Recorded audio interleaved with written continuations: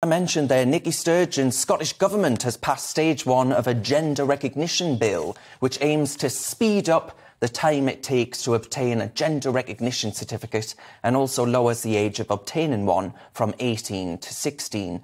The bill caused the resignation of the SNP's Community Safety Minister, Ash Regan, amid concerns regarding the safety of women. Well, with me now to discuss this is an esteemed panel. Christopher McEleny, the General Secretary of the Alba Party, Murdo Fraser, Conservative MSP for Mid Scotland and Fife, and Austin Sheridan, a former SNP Glasgow City Councillor. Michelle Ballantyne, former leader of Reform UK Scotland, an esteemed panel. Austin, I want to start with you, if you don't mind. I always like it. I like the fact that you come on shows like this. I really, really do, because we don't get many SNP members who will actually give us the time of day, unfortunately. But I want to start by asking you, what do you make, what do you think of your fellow panelists, some of which, some of whom disagree vehemently with this bill and actually argue that it's going to lead to, to Scotland's women and maybe even children to be unsafe. What's your message to them? Uh, thank you very much for having me on there. The First Minister did say we should reach beyond the ranks of our own, so that's me contributing to what the First Minister asked me to do.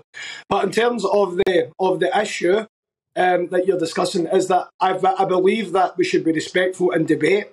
Um, I believe that people have got genuine concerns, then they should be allowed to air them, um, and we should be able to discuss them um, in a calm manner. Unfortunately, when this has been discussed, it has become very heated. I've seen lots of hate being batted back and forward from all sides of the argument on this.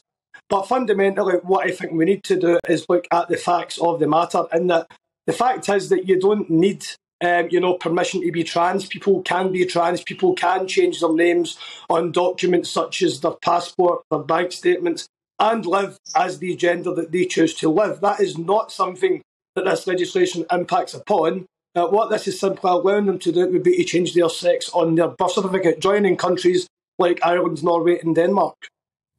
So, Christopher McEleny, then, General Secretary of the Alba Party, you want an independent Scotland. So, I'm assuming that you would like an independent Scotland to be as progressive as countries like Ireland, surely. Well, I, th- I, think it's two two separate. Well, good afternoon. I think it's two separate issues. Um, independence, of course, being about the right to determine your own future make your own choices. People, obviously, um, such as Murdo, will have a you know a different view on whether that's best for Scotland. But um, on the specific issue of GRA, um, I, I, agree with Austin. The debate has been poor. You know, many people, I think most people in Scotland, I would include myself and this group uh, believe that people should be allowed to love who they want to love, be who they want to be, dress how they want to dress, call themselves what they want to call themselves, refer to themselves as a you know a trans man, a trans woman, and you know most people don't care, you know, particularly what people want to do in their own private lives. But when it comes to the specifics of you know in which a very important issue, the protection of, of female only spaces or single sex spaces you know, I, I, think that's something that you know many women have had their opinions invalidated on. Um, I think it's really legitimate that you know females should be allowed to have female-only places. You know, whether that's you know things that are perhaps difficult to talk about during daytime TV, such as rape refuge centres. Um, um, you know, women that have been you know victims of you know violence by males. Uh, these are certainly triggering um, issues in yeah. of you know of a woman ended up in one of these places and someone who identifies as a woman but you know is quite evidently a male-bodied person that that's a traumatizing experience and I think the bill doesn't have adequate safeguards in it um, there was a rebellion as you mentioned some seven SNP MSPs I, I, suppose technically there was a rebellion in Murdo's party because I think you know his party was certainly opposed to the bill but the, one of his members voted in favour of it showing that you know this isn't a an issue that you know falls down traditional party lines. But the the, the important well, fact is this is only stage. It's just one, one just one one final Absolutely. point is this was only stage. It's it's only stage one. And I think in stage two and stage three, you'll see four, five, six, seven, even you know up to a further ten SNP rebels if the government don't listen to what are the valid concerns of women. Yeah. So Murdo Fraser, then we're we're already seeing, are we not, a difference between a difference between the rest of the UK and, and Scotland. I mean, you've even had, as far as Nicola Sturgeon's Euro dreams are concerned, the European Union say, well, you would have to adopt the euro, which of course isn't in the SNP plan for independence. So I'm wondering, this is going to create a difference between England and Scotland thanks to devolution that's going to potentially put women at risk. It's mad. Yes, Darren, and I mean, I don't disagree with really pretty much anything that Chris has just said. I think he and I probably would come from a very similar place on these issues.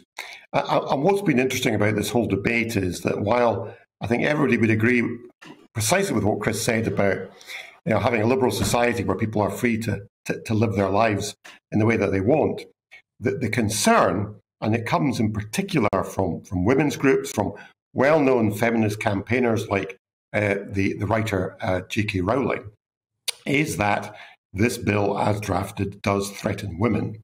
And it threatens women because uh, the, the SNP cannot answer a basic question, which is what is the impact on the Equality Act 2010 yeah. if a gender recognition certificate can be issued to anyone who does not need a medical diagnosis anymore, who can simply get one by signing a piece of paper, self declaring, and after three months will be able to legally change their sex.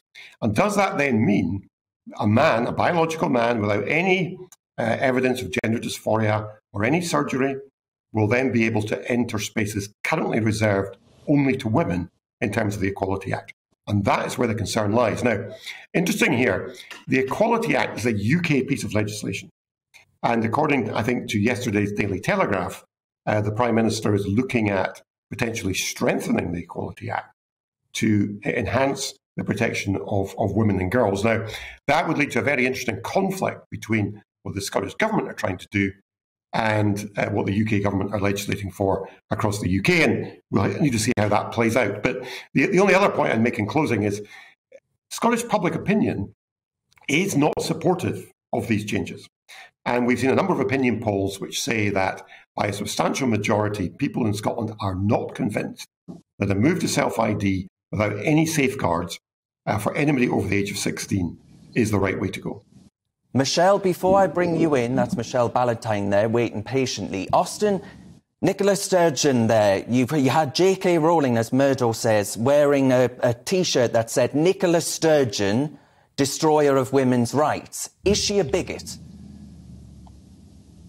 Well, I mean, J.K. Rowling can wear what she wants to wear. It's certainly not the kind of language that, that you know that I think is appropriate, and I think it's extremely unfair as well. I would say that the you know that the if you look at women and we look at rights um, that are being taken away from women. Um, you know, if you look at a global sense, we've got abortion rights being reversed in America. We, we can see what's going on in Iran at the moment. Okay, yeah, um, yeah, and it's, and it's men, and it's men that are these things. Nicola Sturgeon's government um, hasn't done anything to deplete women's rights. Um, um, Nicola Sturgeon's also made clear uh, that the GRA le- legislation will be in line with the Equality Act of 2010. All right. Uh, very, very clear about that. Okay, let's so put that, that to Michelle Ballantyne then. Let's put that to Michelle. Do you actually think J.K. Rowling's a bigot? That is what she gets called online for, for defending the, the right to protest against this particular legislation. No, no, not at all. I mean, the problem we've got is um, the, the minority agendas have become very strong, particularly in the parliament.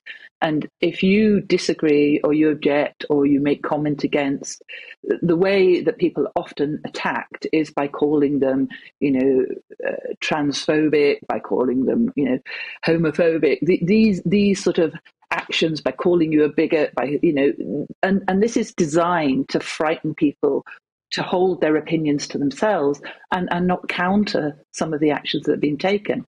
And it is very interesting when, when you look back at the whole how the parliament operates. You know, devolution was enacted to bring decision making closer to the people. And yet here we have a decision that is progressing through parliament that is not in the interests and the majority of the people. So it's it's actually pulling it away from the people. And even in, in if you look at the, the bill's progress itself, you know, they had 10,800 individuals responded to one of the consultations. And yes, they weeded out a few that were replicas. But at the end of it, they had 59% of the individuals who responded saying they didn't support the principles of the bill, and only 38% supported.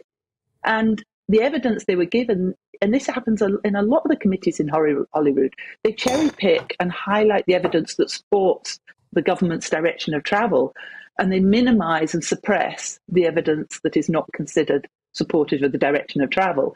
So you, so you end up with bills going through, and they always say, "Oh, we'll amend it at stage two, or amend at stage three. It could be voted down. It could be got rid of." You know, virtually no.